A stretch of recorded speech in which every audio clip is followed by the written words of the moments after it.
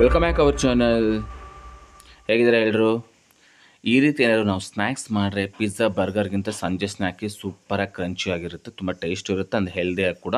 ಇದು ಐದರಿಂದ ಹತ್ತು ನಿಮಿಷದಲ್ಲಿ ಮಾಡ್ಬೋದು ಈರುಳ್ಳಿ ಪಕೋಡ. ಬನ್ನಿ, ಹೇಗೆ ಮಾಡೋದಂತ ನೋಡೋಣ. ಅದಕ್ಕೂ ಮುಂಚೆ ನಮ್ಮ ಚಾನಲ್ ನೀವೇನಾದ್ರು ಫಸ್ಟ್ ಟೈಮ್ ನೋಡ್ತಾ ಸಬ್ಸ್ಕ್ರೈಬ್ ಮಾಡಿ. ಮೊದಲಿಗೆ ನಾವು ಈರುಳ್ಳಿ ಉದ್ದುದ್ದಾಗಿ ಕಟ್ ಮಾಡಿ ಹಾಕ್ಕೊಂಡಿದ್ವಿ ಒಂದು.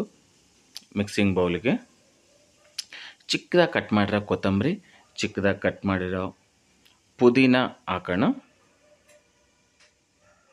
ಜೀರಿಗೆ, ಅಜ್ವಾನ. ಅಜ್ವಾನ ಅಥವಾ ಹೋಮ್ ಕಾಳು ಎರಡನ್ನ ಒಂದು ಸ್ವಲ್ಪ ಕುಟ್ಟಿ ಪುಡಿ ಮಾಡಿದ್ದೀವಿ ಸ್ಮೆಲ್ ಚೆನ್ನಾಗಿರುತ್ತೆ ಅಂತ.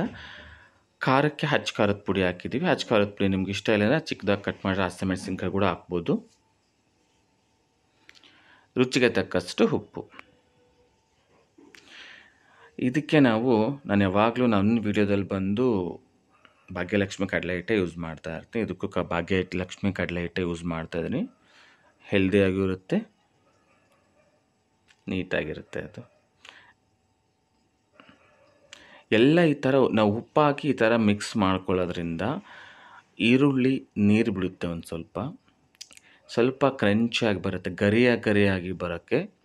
ನಾವು ಒನ್ ಟೇಬಲ್ ಸ್ಪೂನ್ ಅಕ್ಕಿ ಹಿಟ್ಟು ಹಾಕ್ತಾ ಇದ್ದೀವಿ.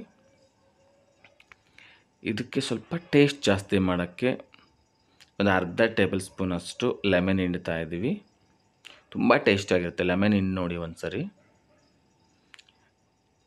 ಇದಕ್ಕೆ ಬಿಸಿಯಾಗಿರೋದು ಒನ್ ಟೇಬಲ್ ಸ್ಪೂನ್ ಬಿಸಿ ಆಗಿರೋದು ಎಣ್ಣೆ ಹಾಕಿದ್ದೀವಿ.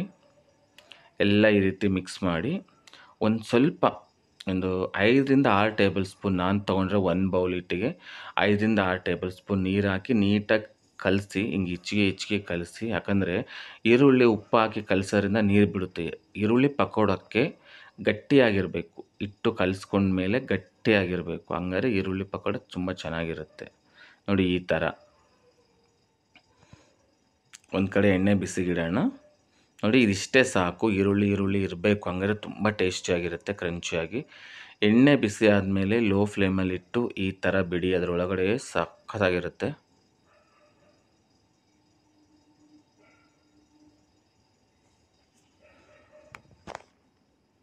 ಈರುಳ್ಳಿ ಪಕೋಡ ಬಂದು ಮಾಡ್ಕೊಂಡು ತಿನ್ನೋರೇ ಕಡಿಮೆ ಆಗಿಬಿಟ್ಟಿದ್ದಾರೆ. ಯಾಕಂದರೆ ಈಸಿಯಾಗಿ ಹೋಟೆಲಲ್ಲಿ ಸಿಕ್ಬಿಡುತ್ತಲ್ವಾ? ಅದಕ್ಕೆ.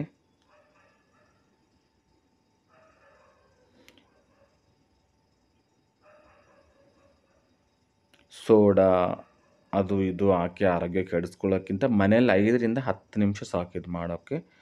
ಮಾಡ್ಕೊಂಡು ತಿನ್ನಿ.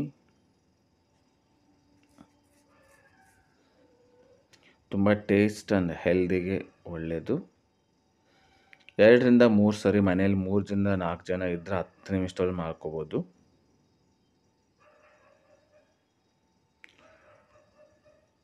ಇದು ಗರಿ ಗರಿಯಾಗಿ ಕಂಚಿಯಾಗಿ ಬರೋ ತನಕನೂ ಎಣ್ಣೆಲಿ ಫ್ರೈ ಮಾಡಿ, ನೋಡಿ ಈ ಥರ.